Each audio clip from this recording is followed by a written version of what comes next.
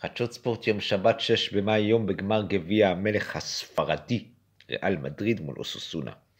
היום בליגת העל, הפועל חיפה הפסידה 0-1 לנס ציונה. במחצית הראשונה הפועל תל אביב בפיגור 0-1 לעירוני קריית שמונה. היום סכנין מול חדרה וביתר ירושלים מול בני ריינה.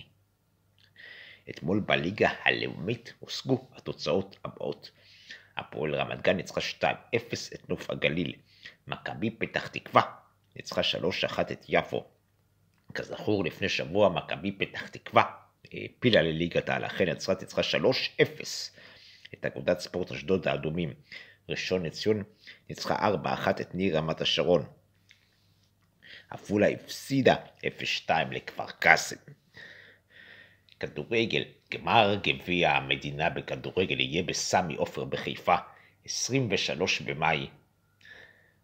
אם לא יהיו שינויים בזה, הוא יהיה בסמי עופר בחיפה ב-23 במאי, גמר גביע המדינה בכדורגל באיצטדיון סמי עופר בחיפה, יום שלישי, 23 במאי, ביתר ירושלים מול מכבי נתניה.